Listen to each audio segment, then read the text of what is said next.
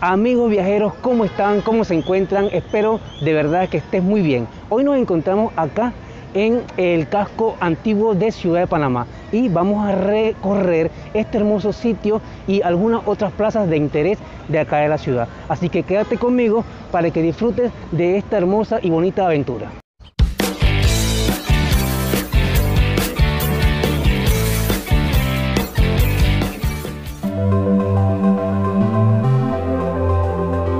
Esta plaza debe su nombre al general Tomás Herrera, quien en vida fue un militar y político neogranadino, presidente de la República de la Nueva Granada y jefe de Estado del Estado Libre del Istmo durante 1840 y 1841. Su nombre completo era Tomás José Ramón del Carmen de Herrera y Pérez Ávila, y nació el 21 de diciembre de 1804 en Panamá, Virreinato de Nueva Granada, Imperio Español. Y en Bogotá, República de Nueva Granada, el 5 de diciembre de 1854 muere en combate. Pero gracias a todos sus logros, hoy por hoy esta plaza lleva su nombre.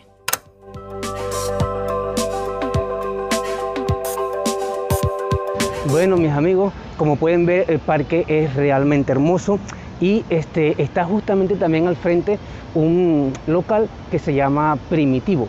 Y ese local, este, eh, les voy a dejar aquí arriba una etiqueta porque este, eh, estuve ahí con un amigo y también quiero que si ustedes pues les interesa conocerlo por dentro, pues por qué no, vayan y vean el video que está en la etiqueta.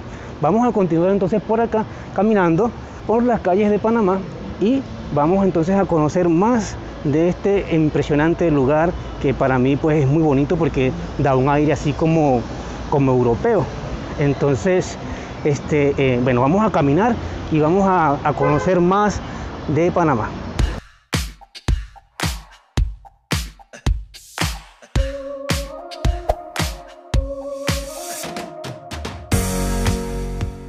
Este es un lugar muy interesante porque tú puedes venir por aquí y disfrutar pues de una eh, increíble vista. También puedes disfrutar de estos restaurantes y el souvenir que consigues en todos lados. De hecho, creo que es el lugar más bonito de toda Panamá en lo que se respecta a turismo en lo que es la ciudad de Panamá, porque obviamente hay muchos lugares más bonitos en el resto del país.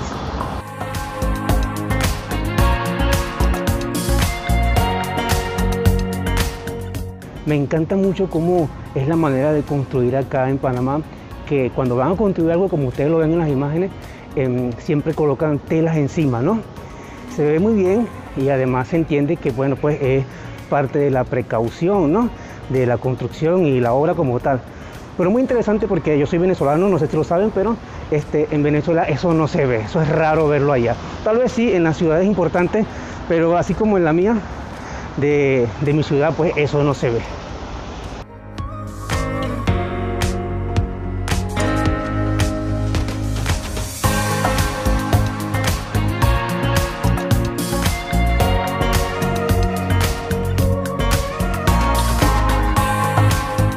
Y estamos aquí, mis queridos amigos, en la Plaza La Independencia, pues de aquí mismo del casco, ¿no? O sea, ya ustedes saben que estamos en el casco. a mí también se me va el yoyo -yo a veces, no crean.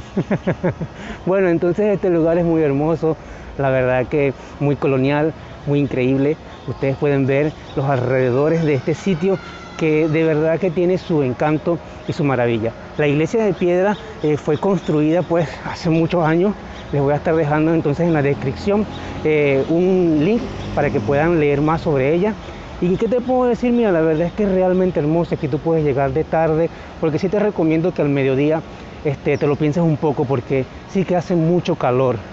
Pero ya en la tarde sí te puedes disfrutar de tus cervecitas y de tus fotografías en el Museo del, del Canal, que por cierto pues trata solamente del Canal de Panamá. En fin, un lugar muy hermoso. Juzga tú mismo y comenta en los comentarios y dime qué te parece este rincón de Panamá.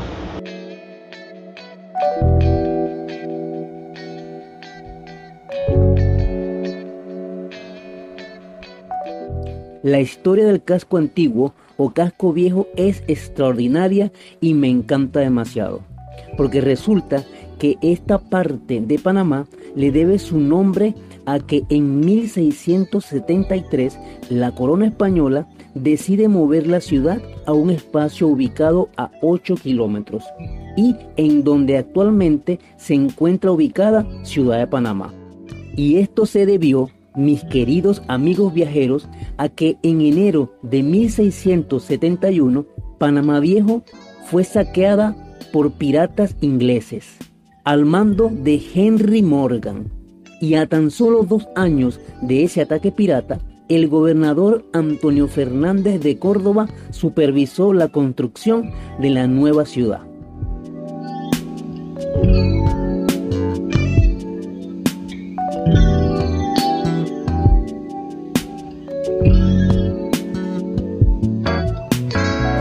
Estamos entonces acá en la plazoleta Carlos B. Eh, pequeñita, por eso se llama plazoleta, pero ustedes pueden ver acá pues también la armonía colonial que se vive aquí. También pueden ver al fondo el Océano Pacífico y eh, su impresionante este, manera de irse hacia atrás y venirse hacia el frente todos los santos días. Sí, señor, como lo escuchan. De todas maneras, aquí arriba te voy a dejar una etiqueta para que veas el recorrido por la zona de atrás que queda la, Plaza Francia o Plaza de Francia, que eh, hace ya un tiempo hice un recorrido por allí y ustedes pues lo pueden disfrutar en esa etiqueta. Entonces vamos a continuar un poco más conociendo el resto de, bueno, no, no el resto, no todo, porque no puedo recorrer todo, va a ser un video muy largo, pero vamos a recorrer otros lugares.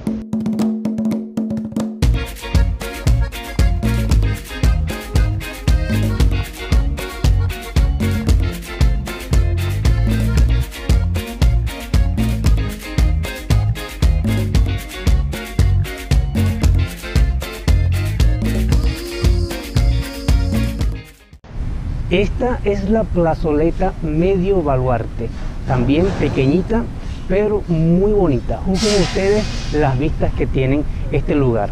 También quiero recordarte que si te está gustando el video y si eres nuevo en este canal, no olvides suscribirte y darle a la campanita para que YouTube te muestre esas notificaciones cuando yo suba más videos. Vamos a seguir conociendo este hermoso sitio acá en Ciudad de Panamá.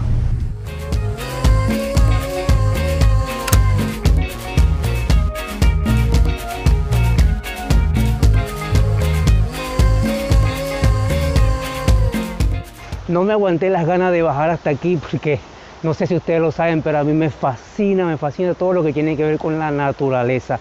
Es una lástima de verdad que no nos podamos eh, venir a, sumergirnos o a hacer bañarnos pues aquí en este, en este hermoso lugar, pues porque estas aguas no están del todo limpias, ¿ok?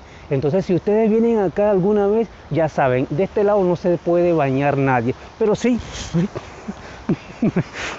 no me maté.